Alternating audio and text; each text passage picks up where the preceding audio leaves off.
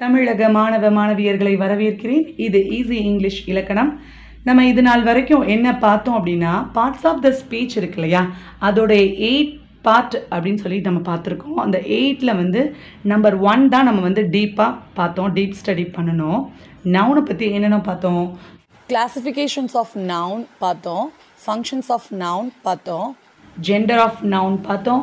Noun வந்து சிங்குலராக ப்ளூரலாக வரும் அப்படின்னு பார்த்தோம்.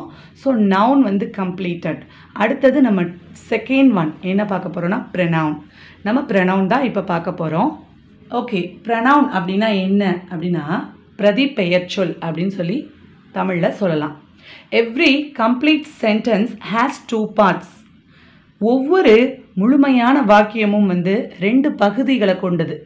ஒன்று சப்ஜெக்ட் இன்னொன்று ப்ரெடிகேட் நம்ம ஏற்கனவே பார்த்தது தான் ஒரு நவுன் தான் சப்ஜெக்டாக வரும்.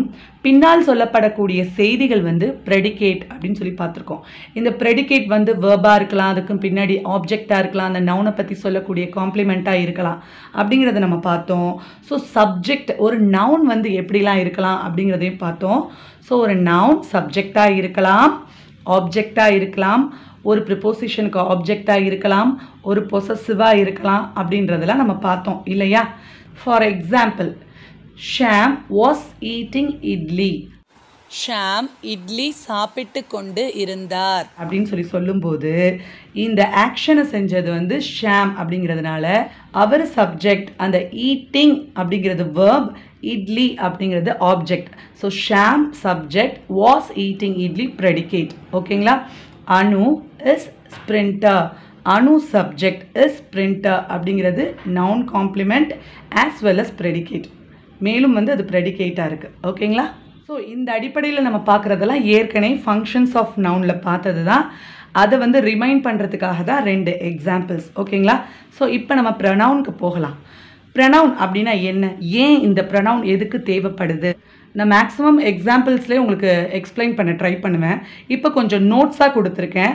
நோட்ஸை பார்த்து பயப்பட வேண்டாம். ஏன் அப்படின்னா நிறைய சிஸ்டர்ஸ் வந்து நோட்ஸ் எடுக்கிறாங்க. ஸோ வந்து அவங்களுடைய எக்ஸாம்ஸ்க்கு நோட்ஸாக தேவைப்படும் அப்படிங்கிறதுக்காக தான் சில கிராமட்டிக்கல் கேட்டகரியை வந்து இங்கே வந்து நான் நோட்ஸாக கொடுத்துருக்கேன். ஸோ பின்னாடி நான் என்ன அப்படிங்கிறத எக்ஸாம்பிள்ஸ் வச்சு சொல்லும்போது உங்களுக்கு கண்டிப்பாக புரியும். ஸோ வந்து பேனிக் ஆக வேண்டாம். உங்களுக்கு எக்ஸாம்பிள்ஸ் பார்த்தா கண்டிப்பாக புரியும். ஓகேங்களா ஃபஸ்ட் பாயிண்ட் என்ன அப்படின்னா replaces a noun in the sentence ஒரு வாக்கியத்தில் நவுனுடைய இடத்தை மாற்றி வேறு ஒரு வார்த்தை வரலாம் அப்படின்னா அந்த வார்த்தை ப்ரொனவுனாக இருக்க முடியும். அப்படின்னா என்னன்றதை நான் பின்னாடி விளக்குறேன். So it can do everything that noun can do noun என்னெல்லாம் செய்ய முடியுமோ அதெல்லாம் வந்து ப்ரனவுன் செய்யும். அதாவது நவுன் எங்கே வரும்? ஒரு சப்ஜெக்டில் வரும் இல்லையா? அது போல் ப்ரனவுன் ஒரு சப்ஜெக்ட்டுக்கு வரும். ஆப்ஜெக்டாக நவுன் வரும் இல்லையா? அது போல் ப்ரனவுன் ஆப்ஜெக்டாக வரும். பொசசிவாக நவுன் வரும் இல்லையா? அது போல் ப்ரனவுனும் பொசசிவாக வரும். ஓகேங்களா they can subject or predicate அதாவது அந்த ப்ரனவுன் இருக்கு இல்லையா? அது சப்ஜெக்டாகவும் இருக்கலாம். பின்னால் சொல்லப்படக்கூடிய ப்ரெடிகேட்டாகவும் இருக்கலாம். எக்ஸாம்பிள்ஸ் வந்து பார்ப்போம். உங்களுக்கு புரியும். டு அவாய்ட் ரிப்பீட்டிங் நவுன் ஒரு நவுனே திரும்ப திரும்ப வரதை தவிர்ப்பதற்காக இந்த ப்ரனவுன் வந்து கையாளப்படுது. டு நாட் கம்பசம் அண்ட் காம்ப்ளெக்ஸ் அதாவது வாக்கியம் வந்து குளறுபடி ஏற்பட்டுறக்கூடாது அப்படிங்கிறதுக்காகவும் வாக்கியம் ரொம்ப கடினமாக இருக்கக்கூடாது அப்படிங்கிறதுக்காக அந்த நவுன் இருக்கு இல்லையா அந்த நவுனுக்கு பதிலாக யூஸ் பண்ணக்கூடிய நவுன் தான் ப்ரெனவுன் அதாவது பெயர்ச்சொல் பிரதி பெயர்ச்சொல் பெயர்ச்சொல்லுக்கு பதிலாக பிரதி பெயர்ச்சொல் இன்னொரு பெயர் சொல் அப்படிங்கிறது தான் இங்கே வந்து நம்ம புரிஞ்சுக்கணும். ஸோ நவுன் என்னவோ அதுதான் ப்ரனவுன் ஓகேங்களா ஸோ சட்ட ரீதியாக உங்களுக்கு நவுனுக்கும் ப்ரனவுனுக்கும் எந்த வித்தியாசமும் ஏற்பட போகிறது கிடையாது. ஃபார் எக்ஸாம்பிள் வச்சு நம்ம பார்ப்போம் ஓகேங்களா number one example Muhammad Ali is a sportsman Muhammad Ali ஒரு விளையாட்டு வீரர். Muhammad Ali is one of the professional boxer in America அமெரிக்காவில் இருக்கும் பிரதானமான குத்துச்சண்டை வீரர்களில் முகமது அலியும் ஒருவர். Muhammad Ali is also an activist actor and writer மேலும் அவர் ஒரு நெறியாளர் அல்லது செயலாளர் நடிகர் மேலும் எழுத்தாளர் அப்படின்னு சொல்லி சொல்கிறோம் இங்கே என்ன அப்படின்னா முகமது அலி முகமது அலி முகமது அலின்னு தொடர்ந்து அவரை பற்றி சொல்லும்போது ஒரு நவுன் ரிப்பீட் ஆகுது இல்லையா இந்த ரிப்பீட் ஆகும்போது சம் கம்பர்சம் அப்படி சிக்கல் இருக்கிற மாதிரி ஒரு சென்டென்ஸ் இருக்கும். ஸோ இதுக்காக பயன்படுத்தப்படுறது தான் பிரதிபெயர் சொல். இந்த நவுன் வந்து ரிப்பீட் ஆகாமல் இருக்கிறதுக்காக யூஸ் பண்ணக்கூடிய வார்த்தை தான் ப்ரனவுன் பிரதிபெயர் சொல். ரொம்ப தெளிவாக சொல்லணும்னா ஒரு நபருடைய பெயரோ ஒரு இடத்துடைய பெயரோ ஒரு பொருளுடைய பெயரோ ஒரு அனிமலுடைய பெயரோ திரும்ப திரும்ப ரிப்பீட் ஆகாமல் இருக்கிறதுக்கு யூஸ் பண்ண போகிறது தான் ப்ரெனவுன் பிரதி பெயர்ச்சொல் ஓகேவா ஸோ இது எப்படி வந்து கம்பசம் இல்லாமல் எழுதலாம்? அப்படின்னு பார்ப்போம். Muhammad Ali is a sportsman Muhammad Ali ஒரு விளையாட்டு வீரர். He is one of the professional boxer in America so இந்த முகமது அலியை ரீப்ளேஸ் என்ன பண்ணியிருக்கு ஹீ அவர் ஒரு பிரத்யேக குத்துச்சண்டை வீரர் அமெரிக்காவில். ஸோ வந்து இந்த முகமது அலியை எது ரீப்ளேஸ் பண்ணியிருக்கு ஹீ அப்படின்ற ஒரு ப்ரனவுன் ரீப்ளேஸ் பண்ணியிருக்கு. ஸோ நம்ம திரும்ப திரும்ப முகமது அலி சொல்ல தேவையில்லை. அதுக்காக தான் ஹீ சொல்கிறோம் so he is also an activist actor and writer மேலும் அவர் ஒரு நெறியாளர் நடிகர் எழுத்தாளர். So Muhammad Ali is a sportsman he is one of the professional boxer in America he is also an activist actor and writer so இப்படி இருக்கக்கூடிய வாக்கியங்களை இப்படி மாற்றுறதுக்காக தான் நமக்கு ப்ரொனவுன் தேவை. இன்னொரு எக்ஸாம்பிள் பார்ப்போம்.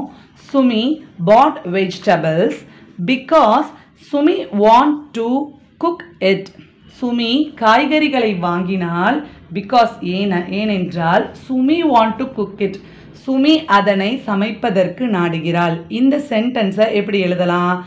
Sumi bought vegetables because she want to cook it Sumi வந்து வெஜிடபிள்ஸ் வாங்குறா. ஏன்னா அதனை சமைப்பதற்காக அவள் நாடுகிறாள். ஸோ இந்த சுமியை திரும்ப கொண்டு வராமல் அவள் அப்படின்னு சொல்லி ஒரு பிரதி பெயர் சொல்ல ஒரு ப்ரனவுனா நம்ம வந்து ஷீ யூஸ் பண்ணி இந்த கம்பசம் இல்லாமல் ஆக்குறோம். அதாவது சிக்கலாக இல்லாமல் ஆக்குறோம். அடுத்த எக்ஸாம்பிள்ஸ் பார்ப்போம். மாலா வாஸ் ஹங்க்ரி மாலா வந்து பசியாக இருந்தா so Mala's mother gave Mala a food எனவே மாலாவுடைய தாய் மாலாவிற்கு உணவு கொடுத்தாள். இப்படி நம்ம சொல்கிறதுக்கு பதிலாக எப்படி சென்டென்ஸ் கொண்டு வர போகிறோம் மாலா வாஸ் ஹங்க்ரி மாலா பசியாக இருந்தால் ஸோ ஹ மதர் மாலாஸ் மதர் எப்படி மாதிரி இருக்கு?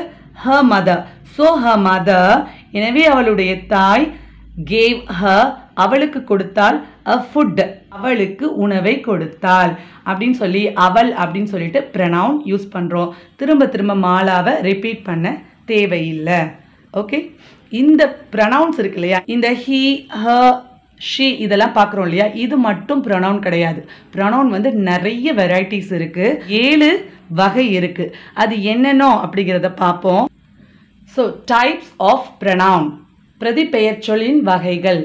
நம்பர் ஒன் பர்சனல் ப்ரனவுன் தனிப்பட்ட பிரதிபெயர்ச்சொல். இன்டெஃபினட் ப்ரனவுன் உறுதியில்லாத கால வரையற்ற பிரதிபெயர்ச்சொல். ரிலேட்டிவ் பிரணாம் தொடர்பு பிரதிபெயர்ச்சொல் இன்டென்சிவ் பிரணாம் உறுதி அல்லது வலியுறுத்தும் பிரதிபெயர்ச்சொல் டெமான்ஸ்ட்ரேட்டிவ் பிரணாம் சுட்டு பிரதிபெயர்ச்சொல் அல்லது சுட்டிக்காட்டும் பிரதிபெயர்ச்சொல் இன்ட்ராகேட்டிவ் பிரணாம் கேள்வி பிரதிபெயர்ச்சொல் அல்லது விசாரணை பிரதிபெயர்ச்சொல் ரிஃப்ளெக்சிவ் பிரணாம் உறுதிப்படுத்தும் பிரதிபெயர்ச்சொல் அல்லது வலியுறுத்தும் பிரதிபெயர்ச்சொல் இங்கே நீங்கள் ஒரு விஷயத்தை கவனிக்கணும். இன்டென்சிவ் ப்ரணனும் ரிஃப்ளக்ஸிவ் பிரணவனும் ஒரே மாதிரி இருக்கு இல்லையா? இதுவும் உறுதி வலியுறுத்தும் பிரதிபெயர்ச்சொல் இதுவும் உறுதி வலியுறுத்தும் பிரதிபெயர்ச்சொல் அப்படின்னா என்ன டிஃப்ரெண்ட் இருக்குது இதுக்குள்ள? அப்படின்னா it's came back in the sentence அதாவது ஒரு சென்டென்ஸோட பேக்கில் ரிஃப்ளெக்ஸிவ் ப்ரோனாம் வரும். இதுதான் வந்து இந்த நாலுக்கும் ஏழுக்குமான வித்தியாசம். ஸோ வந்து ப்ரனவுன் அப்படின்னா உங்களுக்கு என்ன அப்படிங்கிறது புரிஞ்சிருக்கும். நவுனுக்கு பதிலாக ப்ரனவுனை யூஸ் பண்ணுறோம் அந்த நவுன் என்ன வேலையெல்லாம் செய்யுமோ அந்த வேலைகளை ப்ரனவுன் செய்யும். நவுன் எந்த இடத்துலலாம் வருமோ அந்த இடத்துல ப்ரனவுன் வரும். நவுனுக்கும் ப்ரனவுனுக்கும் எந்த வித்தியாசமும் கிடையாது. வார்த்தை தான் டிஃப்ரெண்ட்டாக இருக்கும். ஸோ இதுதான் நீங்கள் வந்து புரிஞ்சுக்க வேண்டியது. இந்த ப்ரனவுன் வந்து ஏழு வகையாக வரும். அந்த ஏழு வகை என்னென்ன வரும் அப்படிங்கிறத நம்ம பின்னாடி பார்க்கலாம் இன்ஷால்லா ஸோ தேங்க்யூ ஃபார் வாட்சிங்